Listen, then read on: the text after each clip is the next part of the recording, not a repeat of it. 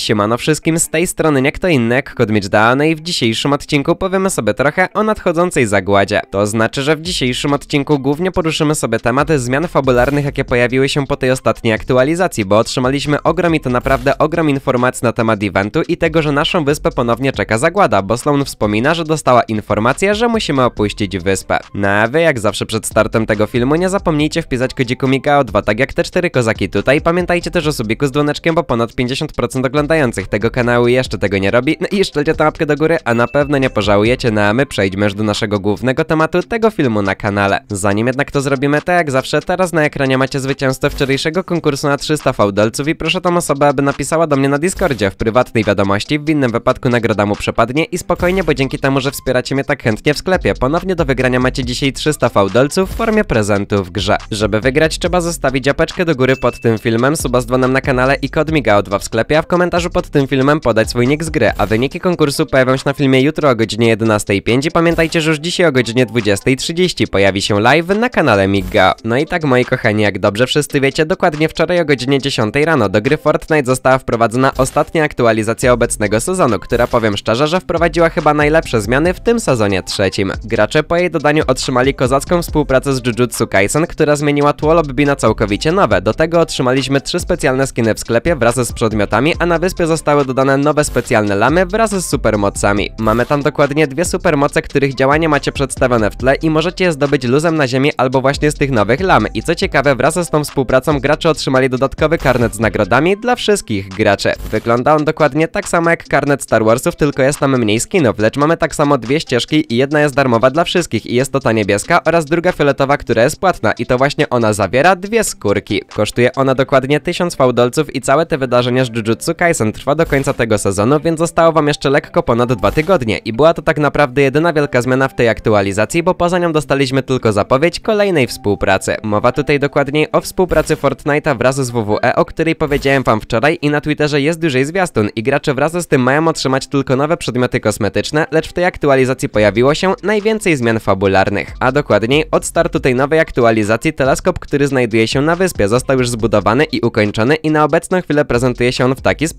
i co ciekawe już w najbliższych dniach zostanie on całkowicie uruchomiony. W plikach gry po tej aktualizacji otrzymaliśmy wszystkie dokładne etapy teleskopu i już na dniach pojawi się laser, zaraz później pojawi się ta konstelacja gwiazd i gdy pojawią się te gwiazdy, każdego dnia jedna będzie się do nas cały czas zbliżała. Końcowo na sam koniec sezonu gracze będą mogli zobaczyć dokładnie coś takiego i tak jak widzicie te zdjęcie tak będą wyglądały okolice teleskopu na kilka dni przed zakończeniem sezonu i już wtedy będziemy wiedzieć dokładnie o co dokładnie chodzi z tym zagrożeniem. Co też ciekawe, sam teleskop to nie jedyny przedmiot, który niebawem będzie przechodził zmiany na żywo w grze, ponieważ poza tym wszystkim dostaliśmy informację, że hieroglify teleskopu oraz tej postaci tutaj również będą przechodziły na żywo zmiany. Wraz ze zbliżającą się gwiazdą przy teleskopie glify na mapie będą coraz bliżej się świeciły i może wtedy poznamy co kryje się za tymi ścianami, bo widać, że coś znajduje się po drugiej stronie i ten temat poznamy raczej dopiero w kolejnym sezonie czwartym. Jednakże najwięcej fabularnych informacji pojawiło się w najnowszych nagraniach głosowych od Dr. Sloan, które tak jak zapowiedziałem wam przed tą aktualizacją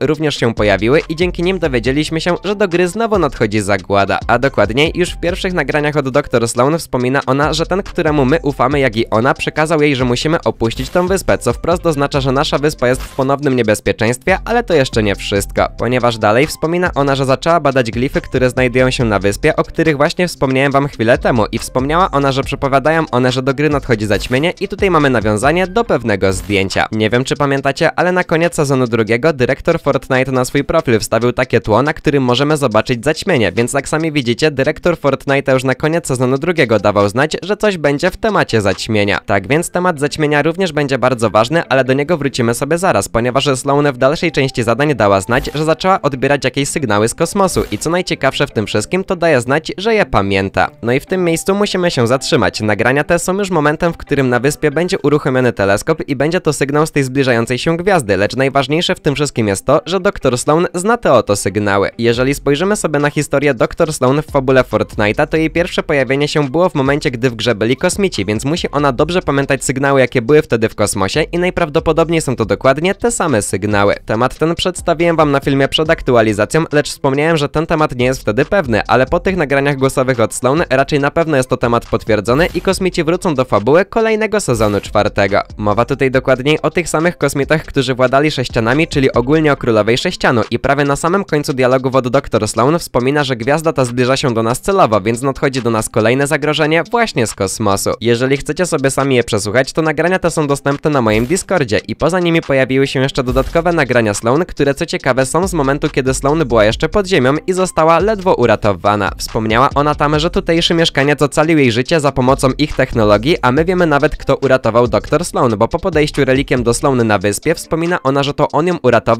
ale nie znaczy to, że Sloan mu teraz pomoże. Jednakże skoro relik jest jednym ze starych mieszkańców tej wyspy, to na pewno nie pomógł dr Sloan bezcelowo i wydaje mi się, że zrobił to, bo wiedział, że dr Sloan będzie chciała rozwiązać tajemniczą zagadkę z teleskopem i tak sprowadzi jego innych mieszkańców. Temat ten nie jest na teraz pewny i zostanie rozwiązany dopiero w kolejnym sezonie, gdy dowiemy się jakie dokładne zagrożenie do nas nadchodzi i teraz chciałbym wspomnieć wam trochę o samym evencie i o tym, kiedy trafi on do Fortnite'a. A więc tak, po tej aktualizacji oficjalnie dowiedzieliśmy się, że w tym sezonie nie będzie eventu na żywo, lecz jednocześnie dowiedzieliśmy się, że event o kryptonimie Durian, który ma być na koniec sezonu czwartego, będzie ostatnim eventem w tym rozdziale. Oznacza to jednocześnie, że w sezonie czwartym gracze otrzymają event końcowy, w którym ponownie opuścimy tą wyspę, o czym wspomniała sama dr Sloan na początku nagrań głosowych, a żeby to było mało, to dla potwierdzenia, że nadchodzi zagłada, mam dla was to. Jest to skin zestawu startowego na kolejny sezon i co ciekawe, skin ten ma zestaw kod zagłady, tak więc wszystko w tym temacie powinno być już teraz w 100% pewne i spodziewajcie się, że na koniec kolejnego sezonu czwartego pojawi się event końcowy. W temacie samej fabuły otrzymaliśmy jeszcze dodatkowo pliki dźwiękowe teleskopu, które pojawią się wraz z jego uruchomieniem i one również tak samo jak dialogi głosowe od Dr. Sloan znajdują się na moim Discordzie, do którego link macie w opisie. Chciałbym jeszcze zaznaczyć, co jest bardzo ważne, że to co przedstawiłem wam w filmie to wszystkie zmiany i nowości, jakie są najbardziej pewne i teorie na temat tego, co wydarzy się oraz takie niepewne informacje przedstawię wam dopiero niebawem. Do tej pory na Twitterze pojawiło się setki teorii w tym temacie i ciężko jest powiedzieć, jak to wszystko będzie wyglądało i to pozostawiam już wam, więc sami zastanówcie się, o co chodzi z tymi wszystkimi najnowszymi zmianami fabularnymi. Najważniejszy w tym wszystkim okazuje się komunikat, który był na początku tego sezonu od Optimusa, że nadchodzi zagłada, bo miał on rację i już w kolejnym sezonie ponownie graczy czeka zagłada tej rzeczywistości i trafimy do jakiejś kolejnej rzeczywistości. Już na dniach na kanale pojawi się kolejny odcinek na temat fabuły i eventu, tak więc wyczekujcie, ponieważ w internecie pojawiło się jeszcze mnóstwo ciekawych teorii na cały ten temat i w tym filmie ich wam nie przedstawiłem, ponieważ nadal nie wiem, która z tych teorii jest najciekawsza i tak naprawdę najlepsza. Podsumowywując, po dzisiejszym odcinku znacie wszystkie nowości w aktualizacji, w tym zmiany fabularne w temacie teleskopu, plików dźwiękowych, nagrań od Dr. Stone, evencie oraz to najważniejsze wiemy, że do gry już na 100% nadchodzi zagłada. No a wy pamiętajcie, że o wszystkich najciekawszych zmianach i nowościach w temacie eventu, jak i fabuły, jak zawsze będę starał was się informować na bieżąco, tak więc obserwujcie kanał Migao, a na 100% nie przegapicie żadnych nowych, kozackich i ciekawych informacji prosto z świata Fortnite, ponieważ filmy pojawiają się tutaj każdego jednego dnia. No a jeżeli ten odcinek wam się spodobał, to fajnie będzie jak zostawicie pod nim mapeczkę do góry, przynajmniej w końcu może on trafi do większego grona odbiorców, tak jak ostatnie moje filmy. Pamiętajcie też o subiku z dzwoneczkiem, to nie przegapicie kolejnych tak kozackich filmów, live'ów i shortsów, a jeden live pojawi się dzisiaj o godzinie 20.30, no i nie zapomnijcie wpisać kodziku MIGAO2, tak jak te cztery kozaki, które pojawiły się na samym początku tego oto filmu.